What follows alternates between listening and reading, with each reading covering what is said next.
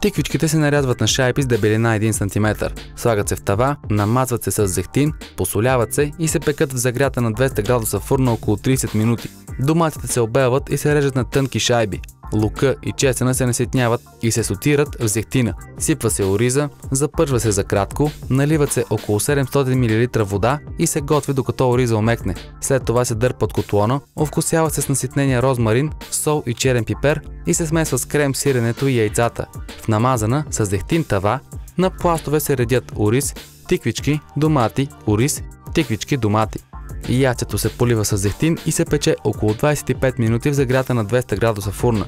След това се настъргва кашкавала и се допича за около 10 минути.